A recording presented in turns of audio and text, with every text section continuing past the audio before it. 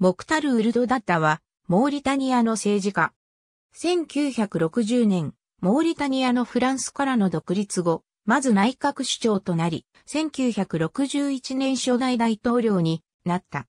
1978年まで3期にわたり大統領に選任された。モーリタニアの富裕な家庭に生まれた。パリに留学し、法学を学んだ。ダッタは、モーリタニア出身者で最初に学士号を得た人物である。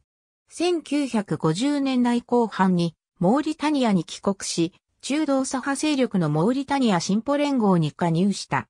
党首脳となるが、1959年にモーリタニア再編党を結成、党首となる。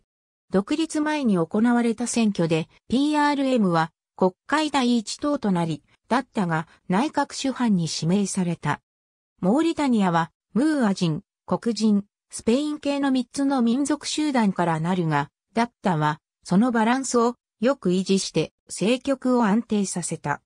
1961年に初代大統領となり、8月の総選挙で勝利し、これを確実なものとした。だったは第二党との合同を進め、1961年9月には、新政党モーリタニア人民党を結成した。これによって事実上の一党政治が実現した。1964年には PPM による一党、独裁制を法律上の制度とした。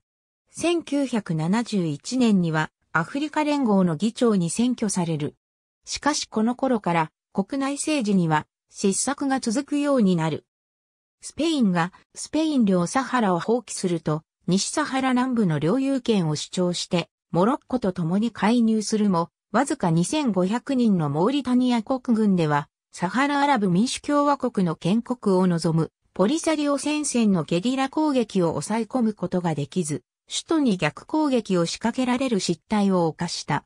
さらに、経済危機も加わり、1978年7月10日、軍部がクーデターを起こして失脚した。モーリタニア、worldstatemen.org、2021年4月10日閲覧。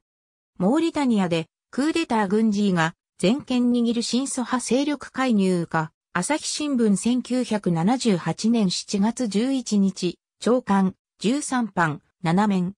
ありがとうございます。